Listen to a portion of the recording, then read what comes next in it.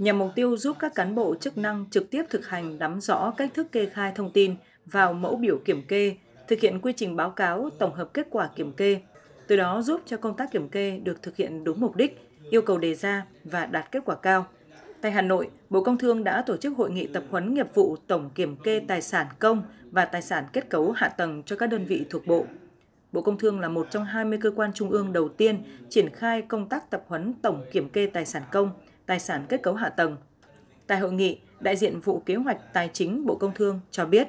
thực hiện quyết định số 213 QĐ-TTG của Thủ tướng Chính phủ phê duyệt đề án tổng kiểm kê tài sản công tại các cơ quan, tổ chức, đơn vị và tài sản kết cấu hạ tầng do nhà nước đầu tư quản lý. Bộ Công Thương đã có quyết định số 1913 QĐ-BCT ban hành kế hoạch triển khai kiểm kê tài sản công và tài sản kết cấu hạ tầng do nhà nước đầu tư quản lý thuộc phạm vi quản lý của Bộ Công Thương.